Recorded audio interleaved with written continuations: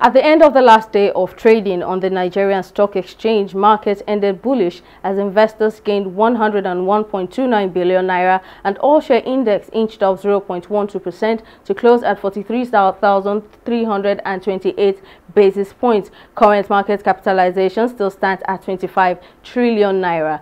109 NGX equities participated in trading on Friday, ending with 21 gainers against 17 losers. Topping the gainers list is eTranzact and Royalex uh, gained both both gained 2 naira 66 kobo and 1 naira 25 kobo respectively. Together they gained 3 naira 91 kobo. On the flip side, Cortex and NEM Insurance emerged the top losers, losing a combined 6 naira 50 kobo. Now at the end of the last weekday of trading on the Nigerian stock exchange, a total volume of a 253 million valued at uh, 2.754 billion naira exchange hands in 4,266 deals.